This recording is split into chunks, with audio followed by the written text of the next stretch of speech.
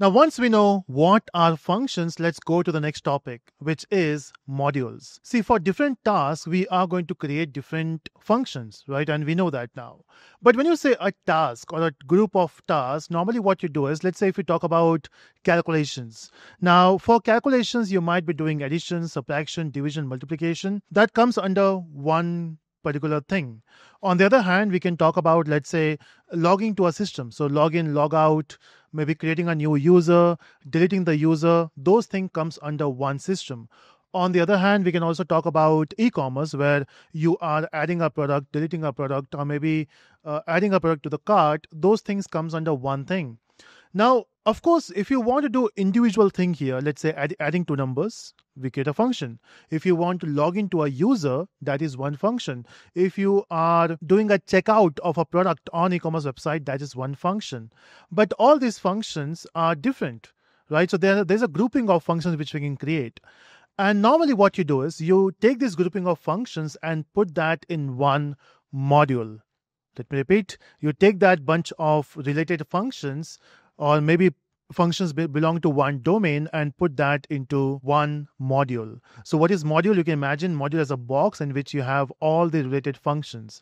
Of course, you can have un- unrelated functions, but then why someone will do that, right? So, module will have all the related functions of one particular thing. To give an example, let's go back to this thing here and let's say I don't want to work with add anymore. We can remove it. In fact, let me remove everything.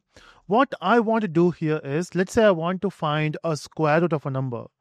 So if you want to find a square root of a number, let's say I will say result equal to, and in this result, I want the square root of this number 25. And we know the square root of this number is 5, but I want to do that with Python. Now, you can write the code for it. Okay, we are expert in Python now. We are expert in maths. Now, I'm kidding. We're into learning phase now, but you can do that. Okay, you can write a code to find a square root of a number using Python. Uh, like we did for finding a square of a number. So let's say if you want to find a square of a number 4, you can simply say 4 into 4. You will get the square of it. But if you want to find the square root, instead of writing the complex mathematical formula here, what I can do is I can use some inbuilt functions. The way we have done with print, we have done with int, all these are inbuilt. In the same way, we got this particular function called sqrt, which is inbuilt function. I can use that and I can put my number, which is in num, and it should give me the square root. And at the end, I will just print it. As simple as that. Okay, uh, let me see if this works. So I'll say Python and demo.py. If I say enter, it's not working. If it is not working, let's stop the video and done. No, I'm not stopping the video. You can see the length of it. So why this is not working? So I'm saying that this is inbuilt and now it's not working. That means is it not inbuilt? It is actually inbuilt. It's just that this type of functions, which are not normally used, but yes, people do use it. Uh, so we don't openly put that to Python, hey, anyone can use it. Because sometimes you don't want to use it. Why it is openly available? See, print, int, we always use.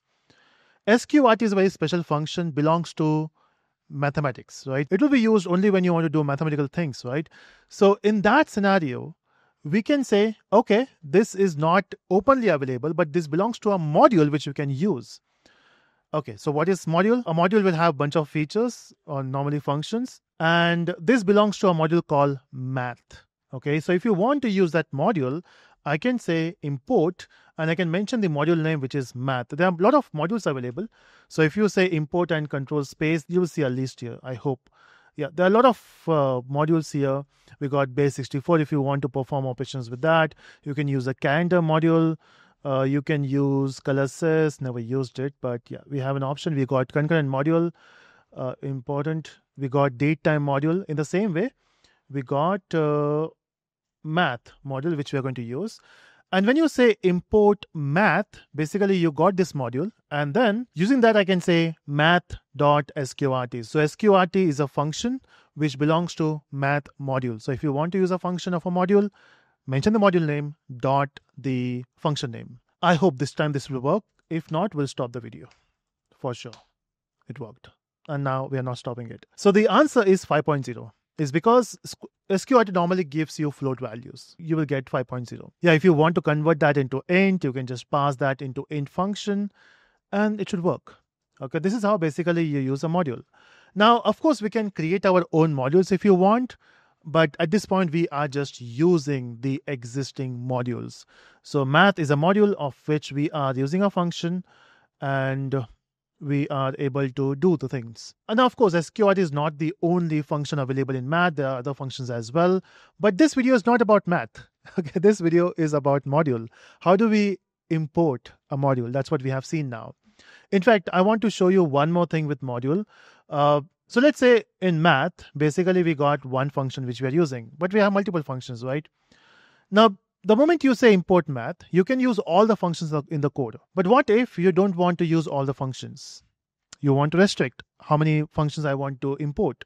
Also, I don't even want to write this math at the start. I can just remove it, but then Python will not be happy. If you remove that, Python will say, hey, what is this SQRT? So in that case, what you do is, instead of using this particular statement which you have used here, I will just comment it. And then you say, from math, I want to import sqrt. Okay, this is the syntax for importing one or two or limited number of functions. So from math, import sqrt. Now you don't have to mention math here. And you can see there's no uh, zigzag lines there. I can simply try this now and it worked. So yeah, that's about the working with modules. Since we are talking about math, let's check out some more functions. Now, math has a few more functions to work with. In fact, if I uh, go back here and if I say math dot, in fact, for that, I have to also uncomment this part. And if I check math, there are so many functions. One of the function is ceil.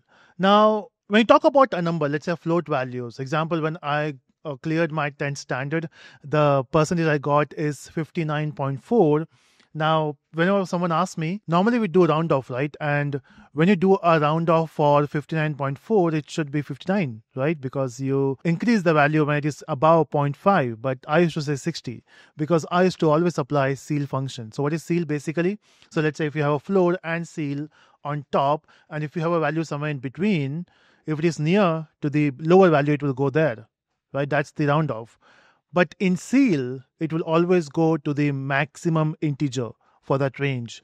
So example, if I say ceil of 59.4, and if I try to save that result somewhere, so it's a result 1 equal to, and if I try to print the result 1 let's see what output you get. So if you run this you will get 60 okay that's my 10th percentage not 59.4 because i use ceil otherwise uh, if i want to talk about someone else let's say if i talk about my friend at home even if that person gets 59.9 it's always 59 Okay, so floor will give the lowest integer and ceil will get the highest integer. Now, why I'm showing you this is because I wanted to show you not my 10th percentage, but in math you got multiple functions and that's how you can try out. In fact there's one more way of checking documentation.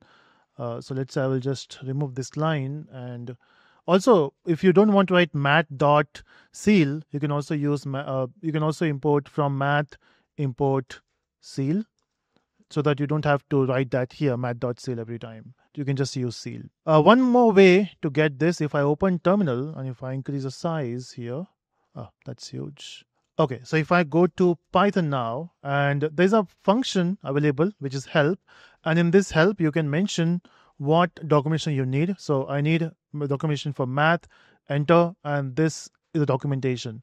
So if you want to learn about a particular uh, module, you can do like this. Otherwise, uh, you can also oh, let me just clear this. You can also use help math dot specifically. You can if you want to understand about ceil you can mention that it will talk about what ceil does.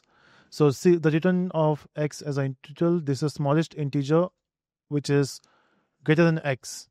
Okay, that's the documentation. Uh, apart from this, you can also use something called power for finding a power of a value. Example, result 1 is equal to power of, let's say, 5 raised to 3.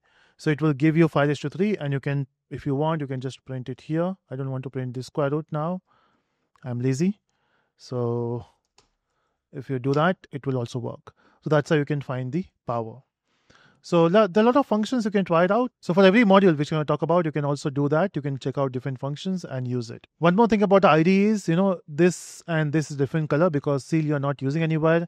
So it's a different color. It helps you to understand which function you are importing from the module, but you're not using it. So that's a feature you can use. I just want to show you one more thing before you go. Uh, let's say don't if you don't want to use this syntax if you want to use import math and everywhere if you want to mention math dot something so instead of that you can also say if you don't want to use math as a word uh, some, see it is small but sometimes you have a big module name. You can create a alias of it something like import math as m and everywhere you can use m dot and that should work okay? Uh, just to confirm yeah it works. So that's it from math module. See you in the next video